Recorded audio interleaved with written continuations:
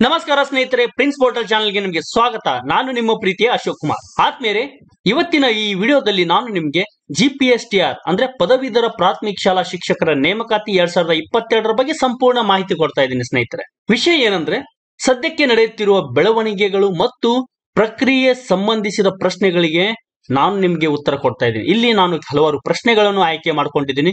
ಈ ಪ್ರಶ್ನೆ ಎಲ್ಲರ ಡೌಟ್ ಆಗಿದೆ ಸ್ನೇಹಿತರೆ.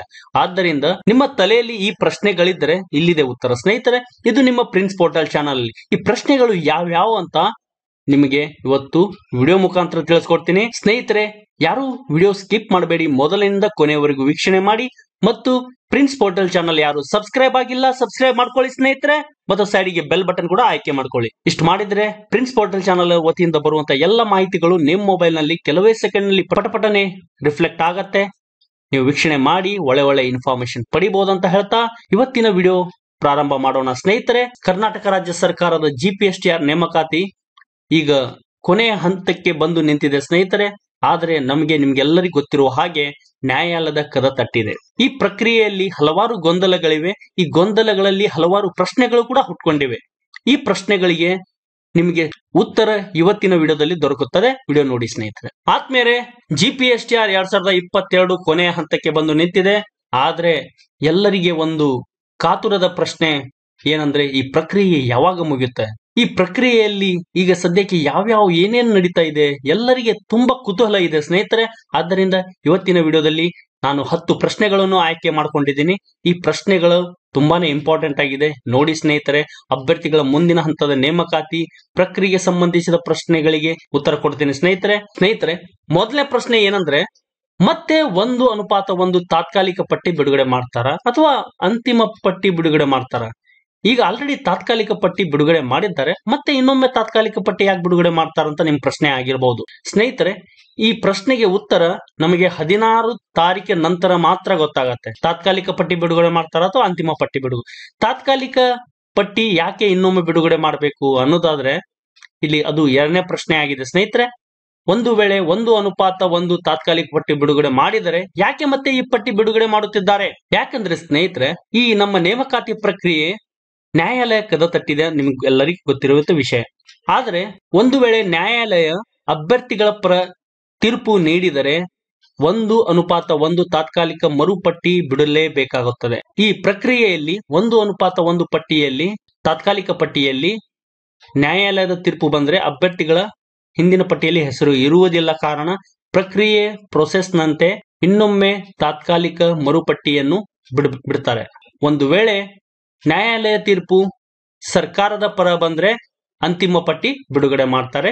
ಈ ಮೊದಲ ಎರಡು ಪ್ರಶ್ನೆಗಳ ಉತ್ತರ ಆಗಿದೆ ಸ್ನೇಹಿತರೆ. ಆದ್ದರಿಂದ ಯಾರು ಧೈರ್ಯ ಕಳೆದುಕೊಳ್ಳಬಾರದು? ಪಾಸಿಟಿವ್ ಬಂದ್ರು ಅಕ್ಸೆಪ್ಟ್ ಮಾಡ್ಕೊಳ್ಳಿ ನೆಗೆಟಿವ್ ಬಂದ್ರು ಅಕ್ಸೆಪ್ಟ್ ಮಾಡ್ಕೋಬೇಕಾಗತ್ತೆ. ಯಾಕಂದ್ರೆ ಸತ್ಯತೆಯನ್ನು ನಾವು ಒಪ್ಕೊಳ್ಳೇಬೇಕಾಗತ್ತೆ ಸ್ನೇಹಿತರೆ. ಆದ್ದರಿಂದ ಯಾವುದೇ ವಿಷಯಕ್ಕೆ ನೀವು ಟೆನ್ಷನ್ ತಗೋಬೇಡಿ ಅಂತ ಈ ಮೊದಲ ಎರಡು ಪ್ರಶ್ನೆಗಳಿಗೆ ನಿಮ್ಗೆ ಉತ್ತರ ಕೊಟ್ಟಿದ್ದೇನೆ ಸ್ನೇಹಿತರೆ. ಮೂರನೇ ಪ್ರಶ್ನೆ ಪದವೀಧರ ಪ್ರಾಥಮಿಕ ಶಿಕ್ಷಕರ ನೇಮಕಾತಿ ಎರಡ್ ಸಾವಿರದ ಇಪ್ಪತ್ತೆರಡು ಪ್ರಕ್ರಿಯೆ ಇನ್ನೂ ಎಷ್ಟು ದಿನ ತೆಗೆದುಕೊಳ್ಳಬಹುದು? ನಮ್ಮ ಶಿಕ್ಷಣ ಸಚಿವರು ಹಿಂದೆ ಹೇಳಿದ ಹಾಗೆ ಎಲ್ಲ ನೇಮಕಾತಿಗಿಂತ ಈ ಜಿ ಪಿ ಎಸ್ ನೇಮಕಾತಿ ಅತ್ಯಂತ ಫಾಸ್ಟ್ ಮತ್ತು ಸುಲಭವಾಗಿ ಆಗಿದೆ ಅಂತ. ಹೌದು ಸ್ನೇಹಿತರೆ, ನಿಜ. ಫಾಸ್ಟ್ ಆಗಿದೆ, ಸುಲಭ ಕೂಡ ಆಗಿದೆ. ಆದರೆ ಸ್ವಲ್ಪ ದೋಷದ ಕಾರಣ ಇದು ಸರ್ಕಾರ ತಪ್ಪು ಅನ್ನಕ ಹೇಳಕ್ಕಾಗಲ್ಲ ನಮಗೆ, ಅಭ್ಯರ್ಥಿಗಳ ತಪ್ಪು ಅಂತೂ ಹೇಳಕ್ಕಾಗಲ್ಲ. ಆದ್ದರಿಂದ ನ್ಯಾಯಾಲಯದ ತೀರ್ಪು ಮೇಲೆ ನಮಗೆ ವಿಶ್ವಾಸ ಇದೆ ಸ್ನೇಹಿತರೆ. ಅವ್ರು ಏನ್ ತೀರ್ಪು ಕೊಡ್ತಾರಲ್ಲ, ಅದರ ಮೇಲೆ ಇದು ಹೋಗುತ್ತೆ. ಆದರೆ ಜಿ ಎಂ ಅಭ್ಯರ್ಥಿಗಳು, ಅಂದ್ರೆ ಪ್ಯೂವರ್ ಜಿ ಎಂ ಅಭ್ಯರ್ಥಿಗಳು, ಸಾಮಾನ್ಯ ಪಟ್ಟಿಯಲ್ಲಿ ಆಯ್ಕೆ ಆಗಿರುವಂತಹ ಅಭ್ಯರ್ಥಿಗಳು, ಮಾರ್ಚ್ ಒಳಗೆ ಅವರಿಗೆ ಎಲ್ಲ ಪ್ರಕ್ರಿಯೆಗಳು ಮುಗಿಯುತ್ತೆ ಸ್ನೇಹಿತರೆ. ಆದರೆ ಕ್ಯಾಟಗರಿಲಿ ಆಯ್ಕೆ ಆಗಿರುವಂತ, ಅಂದ್ರೆ ನೀವು S C S T two A, two B, ಈ ತರ ಆಯ್ಕೆ ಆಗಿರುವ ಅಭ್ಯರ್ಥಿಗಳಿಗೆ ಮಾರ್ಚ್ ಒಳಗೆ ಶಾಲೆ ಸೇರುವುದು ಸ್ವಲ್ಪ ಕಷ್ಟ ಆಗತ್ತೆ. ಯಾಕಂದ್ರೆ ಅವರಿಗೆ ಸಿಂಧುತ್ವ ಮತ್ತು ಹಲವಾರು ಪ್ರಕ್ರಿಯೆಗಳು ಇರುತ್ತೆ. ಈ ಪ್ರಕ್ರಿಯೆಯನ್ನು ಮುಗಿಸ್ಬೇಕಂದ್ರೆ ಇದು ಮಾರ್ಚ್ ಒಳಗಾಗಿ ಆಗೋದು ಒಂದು eighty two eighty five percent ಕಷ್ಟ. ಒಂದ್ ವೇಳೆ ಏನಾದ್ರೂ ಸ್ಪೀಡ್ ಆಗಿ ಆದ್ರೆ ಅದು ಇನ್ನೊಂದು ಫಿಫ್ಟೀನ್ ಪರ್ಸೆಂಟ್ನಲ್ಲಿ ಆಗಬಹುದು. ಆದ್ರೆ ಎಲ್ಲ ಜಿ ಎಂ ಅಭ್ಯರ್ಥಿಗಳು ಮಾರ್ಚ್ ಒಳಗಾಗಿ ಶಾಲೆಗೆ ಸೇರ್ತಾರೆ ಮತ್ತು ಇನ್ನೊಂದು ನಿಮಗೆ ಡೌಟ್ ಇರಬಹುದು ನ್ಯಾಯಾಲಯ ತೀರ್ಪು ಹದಿನಾರನೇ ತಾರೀಕಿಗೆ ಫೈನಲ್ ಡಿಸಿಷನ್ ಕೊಡ್ತಾರ. ಖಂಡಿತ ಕೊಡ್ತಾರ ಸ್ನೇಹಿತರೆ. ಯಾಕಂದ್ರೆ ನಮ್ಮ ಶಿಕ್ಷಣ ಇಲಾಖೆಯಲ್ಲಿ ಶಿಕ್ಷಕರ ಶಿಕ್ಷಕರ ಶೈಕ್ಷಣಿಕ ವರ್ಷದ ಕೊರತೆ ಅತಿ ಶೀಘ್ರವಾಗಿ ನೀಗಿಸಬೇಕು ಅನ್ನೋದು ಸರ್ಕಾರದ ಉದ್ದೇಶವಾಗಿದೆ ಮತ್ತು ಎಲೆಕ್ಷನ್ ಕೂಡ ಬರ್ತಾ ಇದೆ ಸ್ನೇಹಿತರೆ. ಆದ್ದರಿಂದ ಈ ಪ್ರಕ್ರಿಯೆ ಮುಗಿಸಿದ್ದು ಅವರಿಗೆ ಬಹಳ ಇಂಪಾರ್ಟೆಂಟ್ ಮ್ಯಾಟರ್ ಆಗಿರುತ್ತೆ. ಇದು, ಆದ್ದರಿಂದ ಸ್ನೇಹಿತರೆ ಪ್ರಕ್ರಿಯೆ ಸಾಮಾನ್ಯ ಅಭ್ಯರ್ಥಿಗಳಿಗೆ ಮಾರ್ಚ್ ಒಳಗಾಗಿ ಮುಗಿಯತ್ತೆ. ಇದಂತೂ ಫಿಕ್ಸ್ ಆದ್ರೆ ಕ್ಯಾಟಗರಿಯಲ್ಲಿ ಸ್ವಲ್ಪ ಡೌಟ್ ಸ್ನೇಹಿತರೆ, ಇದು ಇದಕ್ಕೆ ಉತ್ತರವಾಗಿದೆ. ನಾಲ್ಕನೇ ಪ್ರಶ್ನೆಗೆ ಉತ್ತರ ಏನಂದ್ರೆ, ನಾಲ್ಕನೇ ಪ್ರಶ್ನೆ, ಈ ಶೈಕ್ಷಣಿಕ ಸಾಲಿನಲ್ಲಿ ಅಂದ್ರೆ ಮಾರ್ಚ್ ಒಳಗಾಗಿ ನಾವು ಶಾಲೆಗೆ ಹೋಗಿ ನಮ್ಮ ಕೆಲಸ ಆರಂಭ ಆಗುತ್ತೆ. ಮೇಲೆ ಹಿಂದಿನ ಮೂರನೇ ಪ್ರಶ್ನೆಯಲ್ಲಿ ನಾನು ಉತ್ತರ ಕೊಟ್ಟಿದ್ದೇನೆ ಸ್ನೇಹಿತರೆ. ಈ ಪ್ರಶ್ನೆಗೆ ಉತ್ತರ ಏನಂದ್ರೆ ಜಿಎಂ ಅಭ್ಯರ್ಥಿಗಳು ಮಾರ್ಚ್ ಒಳಗಾಗಿ ಹೋಗುವ ಚಾನ್ಸಸ್ ತುಂಬಾನೇ ಇದೆ. ನೈಂಟಿ ಪರ್ಸೆಂಟ್ ಆದ್ರೆ ಕ್ಯಾಟಗರಿಲಿ ಅಭ್ಯರ್ಥಿಗಳು ಹೋಗುದು ಸ್ವಲ್ಪ ತಡೆ ಆಗತ್ತೆ. ಹೆಚ್ಚುವರಿ ಪಟ್ಟಿ ಬಿಡ್ತಾರ? ಐದನೇ ಪ್ರಶ್ನೆ ಇದು. ಬಿಟ್ರೆ ಯಾವಾಗ ಮತ್ತು ಎಷ್ಟು ಬಿಡ್ತಾರೆ? ಖಂಡಿತ ಬಿಡ್ತಾರೆ ಸ್ನೇಹಿತರೆ. ಇದು ನ್ಯಾಯಾಲಯದ ತೀರ್ಪು ಬಂದ ಮೇಲೆ ಏನ್ ಪಟ್ಟಿ ಬಿಡ್ತಾರಲ್ಲ, ಅದು ತಾತ್ಕಾಲಿಕ ಪಟ್ಟಿ ಆಗಿರ್ಬೋದು ಅಥವಾ ಅಂತಿಮ ಪಟ್ಟಿ ಆಗಿರ್ಬೋದು. ನ್ಯಾಯಾಲಯ ತೀರ್ಪು ತೀರ್ಪು ಬಿಟ್ಟ ಮೇಲೆ ನಮಗೆ ಹೆಚ್ಚುವರಿ ಪಟ್ಟಿ ಕೂಡ ಬಿಡ್ತಾರೆ. ಮತ್ತು ಆಯಾ ಕ್ಯಾಟಗರಿಯಲ್ಲಿ ಟ್ವೆಂಟಿ ಪರ್ಸೆಂಟ್ ಕ್ಯಾಂಡಿಡೇಟ್ ಲಿಸ್ಟ್ ಅನ್ನು ಪಟ್ಟಿ ಬಿಡುಗಡೆ ಮಾಡಿದ ದಿನ, ದಿನವೇ ಅಥವಾ ಒಂದೆರಡು ದಿನ ಬಿಟ್ಟು ಹೆಚ್ಚುವರಿ ಪಟ್ಟಿಯನ್ನು ಕೂಡ ಅವರು ಬಿಡುಗಡೆ ಮಾಡ್ತಾರೆ.